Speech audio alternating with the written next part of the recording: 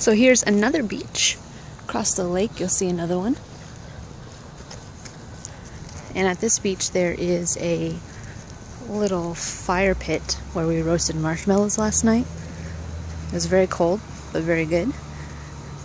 And we'll soon be walking up to the Shutters restaurant beside the food court.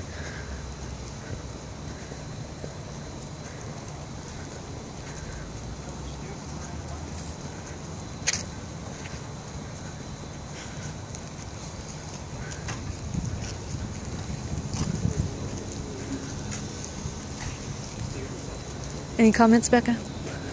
Uh, nope. you look great today. Dream. Living the dream. That's right. It's the best resort ever. Beautiful views. There is the Wait, can I show your Shutters. Outfit? Yeah, Shutters restaurant. It's really nice. There you go. And this is Amanda's outfit today. Hot pink pants with the statement sweater that's in the shape of a tiger.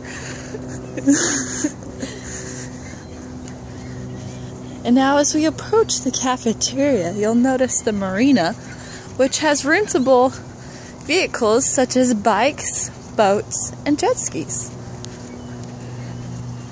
It has a little lighthouse up there. With a lighthouse.